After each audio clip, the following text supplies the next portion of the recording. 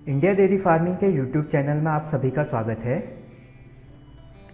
कृषि, पशुपालन तथा बकरी पालन से संबंधित जानकारियों के लिए आप इंडिया डेयरी फ़ार्मिंग का यूट्यूब चैनल अभी ज़रूर सब्सक्राइब कर लें। अगर आपने ये चैनल अभी तक सब्सक्राइब नहीं किया है तो रेगुलर अपडेट्स के लिए आप हमारा फेसबुक पेज भी लाइक कर लें। इस वीडियो में आप जानेंगे कि नाबार्ड क्या है इसकी स्थापना क्यों हुई? और नाबार्ड की डेयरी सब्सिडी योजना क्या है? भारत सरकार की पहल पर भारतीय रिज़र्व बैंक द्वारा 12 जुलाई 1982 को राष्ट्रीय कृषि और ग्रामीण बैंक यानी नाबार्ड की स्थापना हुई। ग्रामीण विकास के क्षेत्र में नाबार्ड की भूमिका अभूतपूर्व है।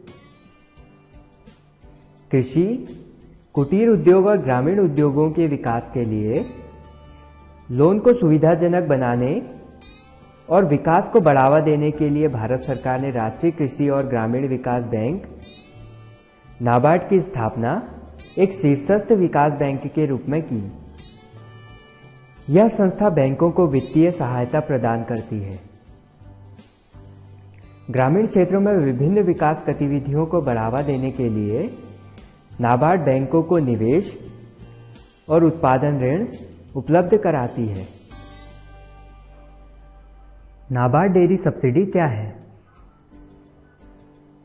भारत में डेयरी फ़ार्मिंग को बढ़ावा देने के लिए नाबार्ड द्वारा डेयरी उद्यमिता विकास योजना, यानी डेयरी इंटरप्रीनियोरशिप डेवलपमेंट स्कीम के तहत डेयरी सब्सिडी शुरू की गई है।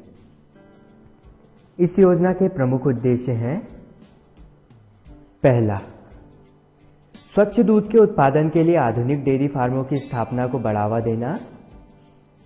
दूसरा, बछड़ा पालन को प्रोत्साहित करना, ताकि अच्छी नस्ल के दुधारू पशुओं को बचाया जा सके।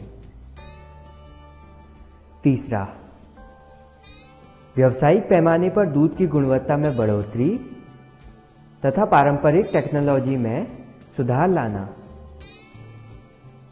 चौथा, मुख्य रूप से अनियोजित डेयरी क्षेत्र के लिए बुनियादी सुविधाएँ उपलब्ध कराना और स्वरोजगार पैदा करना।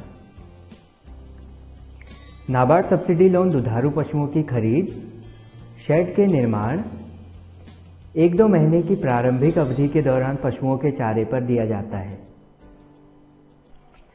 भूमि विकास बाढ़ लगाना, डीजल इंजन, पंप सेट, बिजली कनेक्शन, गोदाम, मिल्क प्रोसेसिंग, परिवहन वाहन के लिए भी ऋण लिया जा सकता है। नाबार्ड द्वारा डेयरी स्थापित करने पर बहुत कम ब्याज पर सब्सिडी लोन मुहैया कराया जाता है। आइए जानते हैं कौन कौन इस लोन का फ़ायदा उठा सकता है। नाबार्ड सब्सिडी लोन मुख्य रूप से किसान, व्यक्तिगत उद्यमी या एंटरप्रेन्योर गैर सरकारी संगठन यानी एनजीओ, कंपनियाँ, असंगठित और संगठित क्षेत्र, स्वयं सहायता समूह, डेयरी सहकारी समितियाँ, दुग्ध संघ मिल्क फेडरेशन आदि नाबार्ड सब्सिडी लोन का फ़ायदा उठा सकती हैं। नाबार्ड सब्सिडी लोन कहाँ कहाँ से प्राप्त किया जा सकता है? नाबार्ड सब्सिडी लोन मुख्य रूप से वाणिज्यिक बैंक, क्षेत्रीय ग्रामीण बैंक, राज्य सहकारी बैंक, राज्य सहकारी कृषि और ग्रामीण विकास बैंक और ऐसी संस्थाएँ जो नाबार्ड से पुनर्वित्त प्राप्त करने के लिए पात्र हैं। वहाँ से प्राप्त किया जा सकता है। तो दोस्तों, इस वीडियो में आपने नाबार्ड और नाबार्ड की डेयरी सब्सिडी योजना के बारे में जाना।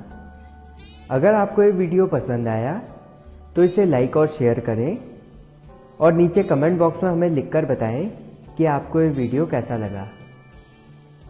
आगे आने वाले वीडियो में हम आपको नाबार्ड की डेयरी सब्सिडी प्राप्त करने की विधि बताएँगे। कृषि तथा पशुपालन से संबंधित जानकारियों के लिए आप इंडिया डेयरी फ़ार्मिंग का यूट्यूब चैनल अभी ज़रूर सब्सक्राइब कर लें।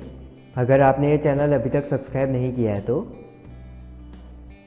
तो इस वीडियो में इतना ही। इस वीडियो को देखने और शेयर करने के लिए आप सभी का धन्यवाद।